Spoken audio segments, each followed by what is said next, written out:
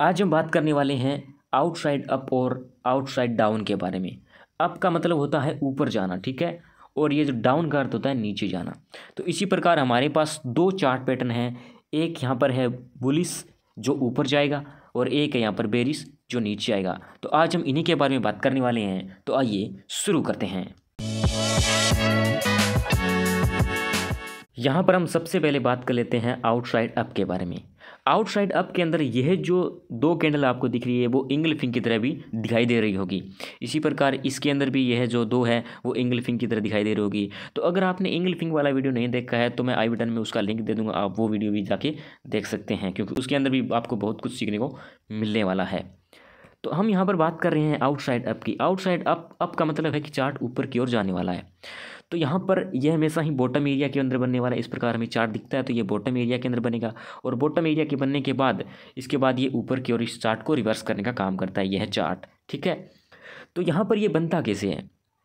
यहाँ पर यह जो चार्ट है वो नीचे गिरता है। इसके बाद हम यहाँ पर एक रेड कैंडल बनती है जो छोटी सी होती है। इसके बाद एक और ग्रीन कैंडल बनती है जो इस रेड कैंडल से बड़ी बनने वाली है, ठीक है?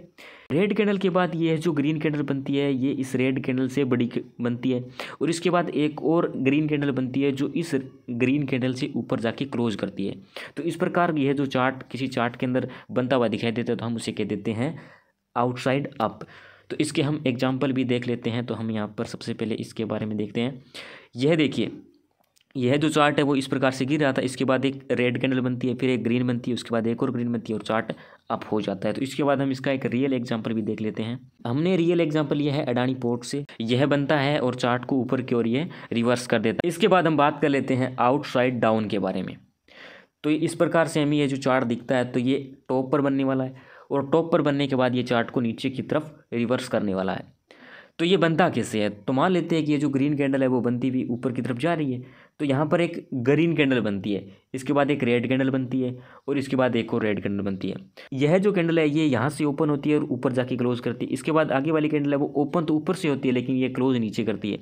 और इसके बाद आगे वाली कैंडल है, वो ऊपर से ओपन होती है, लेकिन ये क्लोज करती है नीचे से। मतलब यह जो कैंडल है, इसके नीचे आके यह क्लोज करती है। तो इस प्रकार का यह जो चार्ट पैटर्न इसे हम कहते हैं आउटसाइड डाउन यह किसी चार्ट के टॉप पर बनता है तो ये चार्ट को नीचे की तरफ़ रिवर्स कर देता है। तो इसके बाद हम यहाँ पर इसका एग्ज़ाम्पल देख लेते हैं। तो यहाँ पर हमें दिखता है कि ये चार्ट ऊपर जा रहा है। तो यहाँ चार्ट पैटर्न जब फॉर्म होता है तो ये चार्ट किस प्रकार से नीचे गिर जाता है। तो इसके बाद हम इसके रियल एग्ज़ाम्पल की भी बात कर लेते हैं। रियल एग्ज़ाम्पल हमने लिया है बजाज फाइनेंस से। तो इस प्रकार इसके अंदर ये बनता हुआ आ रहा था और ये इसका टॉप एरिया है। टॉप एरिया के अंदर यह चार्ट फॉर्म होता है। तो यह चार्ट यहाँ पर गिर जाता है। तो यह था आज का वीडियो। आपको वीडियो कैसा लगा? वीडियो अच्छा लगा तो वीडियो को लाइक कर देना कमेंट कर देना और शेयर कर देना। अगर आप चैनल पर नहीं हैं तो चैनल को सब्सक्राइब ज़रूर कर देना। तो मिलते हैं अगले वीडियो में। तब तक के लिए ओके बाय